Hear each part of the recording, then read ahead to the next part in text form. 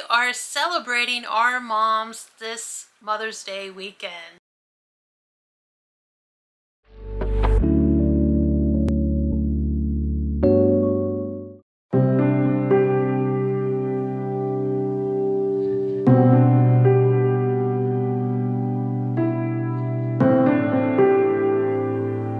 God loves mothers.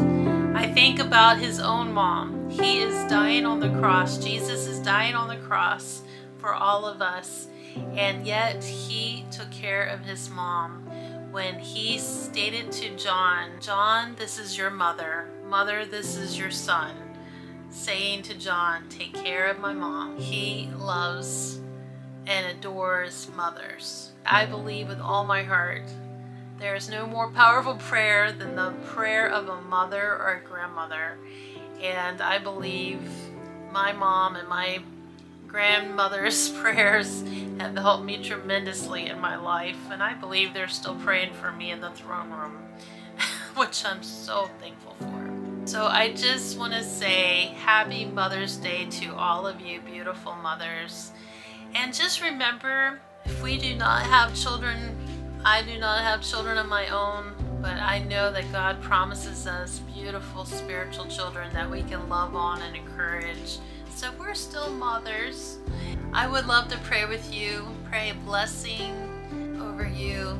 Just remember, God loves you so much. No matter what this Mother's Day holds for you, or no matter what the feelings may come, just know that God loves you so much. And He adores you and I just pray the comfort and the peace of God just wash over you this Mother's Day weekend.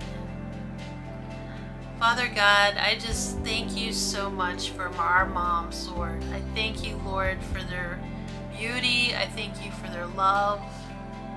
There's nothing like the love of a mother, Lord, and I thank you, Lord Jesus, for the beautiful mothers that we have had and I thank you for the beautiful mothers that are out there that are doing this with their children and and their grandchildren. And Lord I just pray a special blessing on all the mothers and grandmothers. Just need a special touch from you this weekend Lord this brings up so many different feelings and I just pray God just wrap your loving arms around each and every single one of them.